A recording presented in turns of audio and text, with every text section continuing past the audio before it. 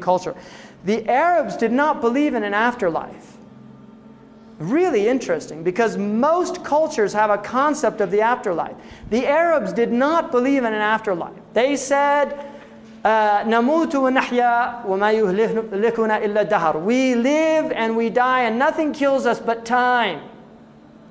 The Arabs said, and, and will we be decayed bones, dust in the earth, and brought back to life? They say, Who's going to revive these dead and decayed bones?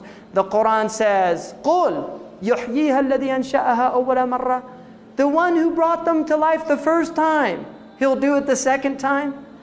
The Quran says, We created you the first time. The commentators say, Second time around is always easier.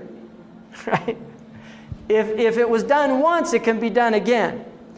Now, how did the Quran uh, deal with this belief? Because it's very interesting that the, uh, the Arabs didn't believe this. How did it deal with it? The way that it dealt with it was it told the Arabs to look at the dead earth.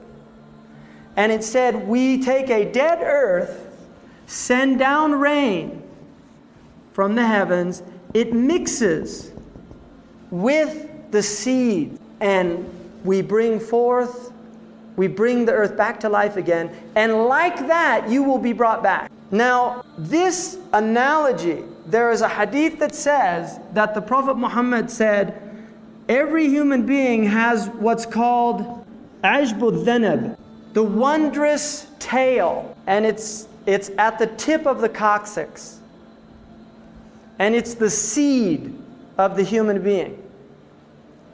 So the, the, the, Muslims believe that there is a seed that every human being has. And like seeds, seeds are very interesting because they're very hard to destroy. Right? You swallow seeds, they come out the other end. Hydrochloric acid doesn't break them down. In fires, seeds stay. Right? Forests that are burnt down come back to life because of seeds that are there that aren't destroyed. Drought comes, kills everything but the seeds. When the rain comes back, it comes back to life. Now, the belief of the Muslims is that every human being has a seed, and that seed will not be destroyed. We don't know where it is or what it is. The hadith indicates that it's in the coccyx, but we don't know what size it is, what it looks like, nothing like that. But from that seed, every human being will be recreated from a divine rain. And it's interesting that we deny resurrection, and yet our own culture is talking about recreating human beings from one cell.